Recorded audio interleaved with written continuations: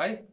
Jeg vil hurtigt lige uh, fortælle lidt om, hvordan man uh, læser uh, tabs til bas og guitar. Når man kan se her i linje 1, der kan vi se, at uh, der er fire linjer. De fire linjer, de svarer til de strenge, jeg har på en uh, bas. Har det været en guitar, så har der været seks linjer. Så den nederste linje, man ser, det svarer til den øverste streng. Det vil sige, at den nederste linje svarer til den øverste streng, altså den dybe streng. Så kan vi så se, at der står et øh, 0, og det betyder, at det er en løs streng. Det vil sige, at man skal ikke trykke noget ned. Derefter kan man se, at der står et 1-tal. Og det er jo så, at man skal trykke ned øh, ved første bånd. Og bånd, det er det, man kalder her. Man kalder dem her første, anden, tredje, fjerde, femte og så videre. Det vil sige, de er delt ind af, af, af stregerne her, som er på bassen eller gitaren. Det vil sige, den første node, der er i linje 1, det var en løs streng på den dybe. Og så er der en etter, så trykker jeg her. 1. Og så skal jeg op på tredje. 1, 2, 3. Det er der.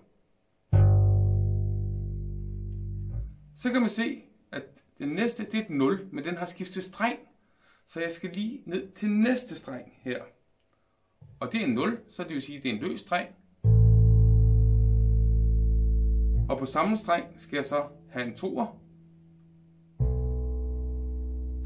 Og derefter skal jeg have en 3'er. Og på den måde, så kan man lige navigere gennem tonerne. Rytmer, det vil jeg ikke komme ind på nu. Det er jo bare lige, hvordan man lige læser tallene. Hvis vi hurtigt lige ser linje 2, så kan vi se, at den starter på anden streng. Fordi at det er den anden nederste linje, så er den anden øverste streng. Det er helt logisk. Og så på bånd 3. 1, 2, 3. Det her. Jeg vil så starte lige med en anden finger. Det er noget, der hedder fingersætning. Det vil jeg ikke komme ind på. Det vil jeg lade en basslærer gøre. Øh, men øh, jeg starter på en træer.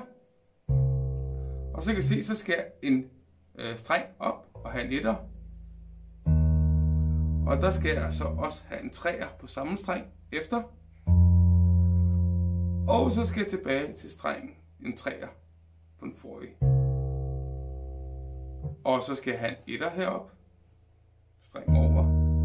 Og så skal jeg ud og have en 4. 1, 2, 3, 4. Og en træer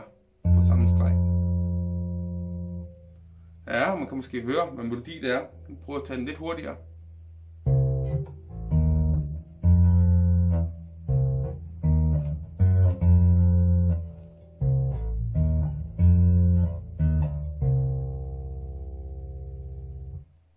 Sådan. Så er det bare at komme i gang.